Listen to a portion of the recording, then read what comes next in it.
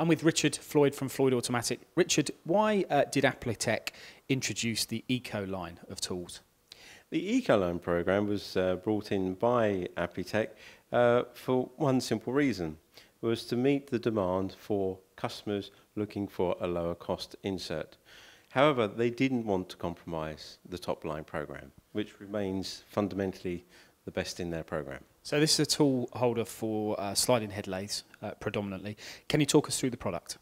So the EcoLine program uh, was designed by Applitec in order to reduce cost, hence the phrase eco. The way they did this, they minimized the number, number of faces that needed to ground to be ground to purely those areas affecting the machining of the component. I noticed you've only got one screw on here as well.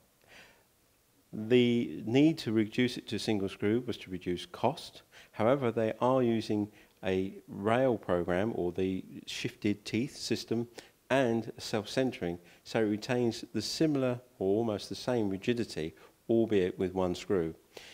They've made the product cheaper by simply reducing number of operations to produce uh, the insert.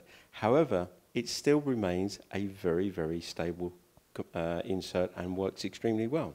So is this then a tool that gen that competes generally with a lot of your competition, more so than the top line? I would say that is the case. Uh, the top line always remains exactly where it says it is, the top. Uh, the eco line was a strategy to compete equally with many of the other competitors that are out there producing smaller single screw inserts. However, this program does actually reflect the quality of how Applitec produce their programs.